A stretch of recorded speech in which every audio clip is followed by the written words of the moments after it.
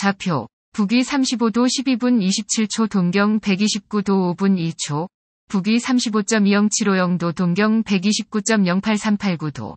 35.20750, 129.08389.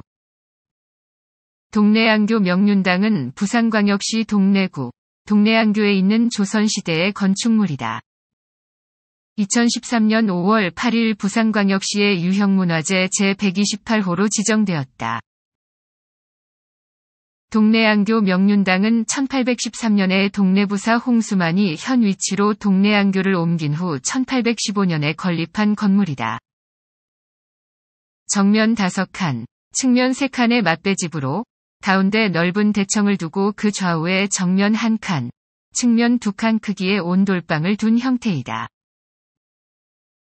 공포는 전면과 후면이 다른데 전면은 외일출목 2입공식으로 앙서형의 초입공 상단에는 연꽃을 초각했으며 수서형의 2입공 하단에는 연봉을 초각했다.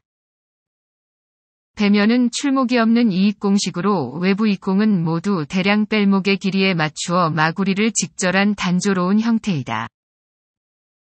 동래안교 명륜당은 입공의 형태와 초각 및 부재의 치목, 결구수법 등에서 조선 후기 향교 명륜당의 건축적 특징을 잘 보여주고 있으며 보존 상태도 양호한 편이다. 현존하는 향교 명륜당 건물 중에서는 다소 늦은 시기에 건축된 건물이지만 구조와 평면 형식, 인명 구성 및 세부에서 조선 후기 향교 명륜당의 건축적 특징을 잘 보여주고 있는 등 학술적 가치를 지니고 있는 건축 문화재이다. 시청해주셔서 감사합니다.